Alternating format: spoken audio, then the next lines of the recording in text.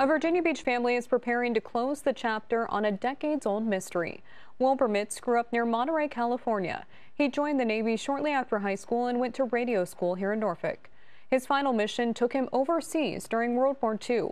79 years later, thanks to those who never gave up, he's finally coming home. The department deeply regrets to inform you that your son, Wilbur Archie Mitts, Aviation Radio Radioman First Class USN, is missing following action while in the service of his country. You know, most of us know what it's like to lose somebody in our lives. Um, it's tragic, but it's different than when somebody goes missing in action. They have dealt with the dark, ambiguous loss of their loved one for decades. A loss with more questions than answers. And it's unfortunate that everybody that's still alive today never got a chance to meet him trying to fill in the pieces through photographs and letters. All of them are to his mom, and this is his last letter. His last letter before his final mission during World War II. They were carrying 500 pound uh, bombs, so they would just drop the bombs. While Wilbur Mitts and his crewmates were flying, there was heavy enemy fire near the island of Palau. Their plane was shot down at 5,000 feet. They found different parts of the aircraft on land, but they couldn't find the fuselage where the crew was. They couldn't find it until crews who worked tirelessly to bring MIAs home stepped in. And then these are the sonars that, that look at the seafloor, uh, looking for the aircraft that, that, uh, that have MIAs. Project Recover is made up of several team members who each bring their own expertise to these missions. This goes about 100 meters, 300 feet down. And then we have a camera module, so if we do find something, we can fly over it and take pictures. Uh, we're going deeper in the water than we've ever gone before, uh, but there's still a lot of ocean to cover. A lot to cover, and as many as 5 million family members waiting for answers. It really motivates you to get back out into that, you know, what muddy jungle or those deep waters or whatever it happens to be and, and provide more answers to more families across our nation. And for me, it's, it's uh, you know, keeps, keeps us active, keeps us innovating. At the same time, we're, we're helping the community healing wounds of these wars, and changing lives, all thanks to those who've never stopped searching. You know, we want to bring these service members home because it's a promise that we made to them and their families.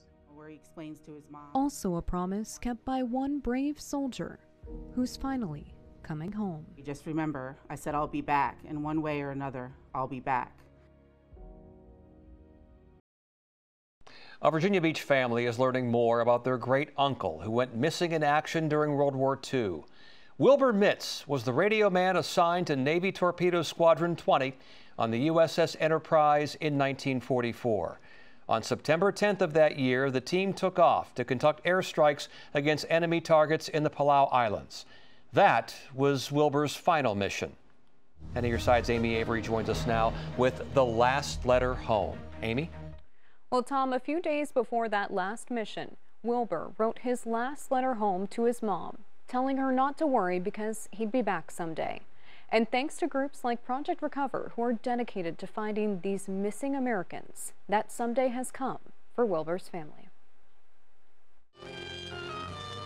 In the southwest Pacific, 500 miles from the Philippines, are the Palaus, westernmost of the Japanese-mandated islands. We must seize it to protect our invasion of the Philippines. We used to hear stories about 100 planes went out and only 99 came back. Navy planes from fast carrier forces strike first. We spent at least two decades trying to find that site. But the final resting spot's probably around here.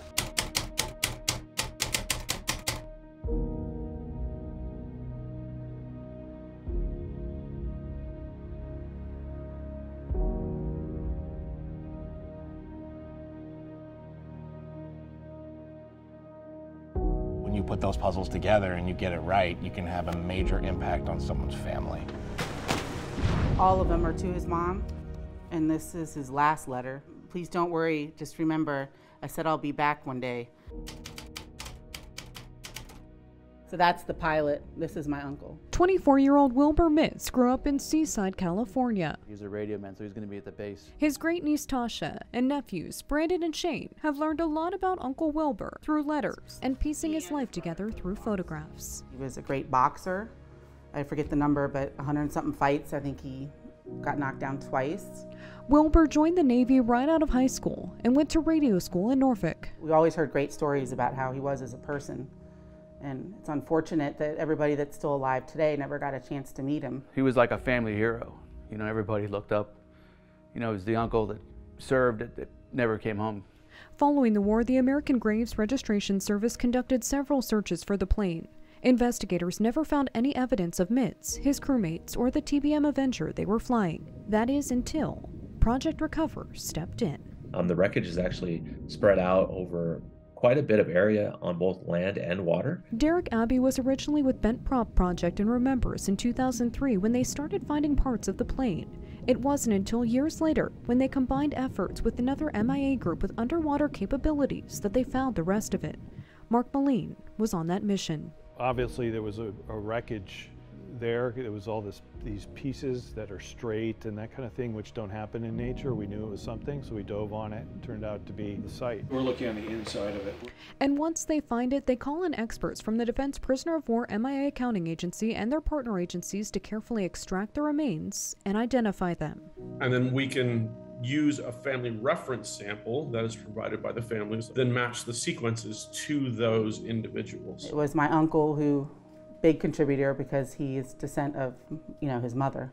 And we're one of the lucky ones to get to bring him home. And although only the ocean holds answers as to what happened that day, it also held Wilbur's promise to make it home. You just remember, I said I'll be back. In one way or another, I'll be back. And that's for sure. I just know I'm sure, I'm a sure bet to be back. That hit me where he is, he's coming home.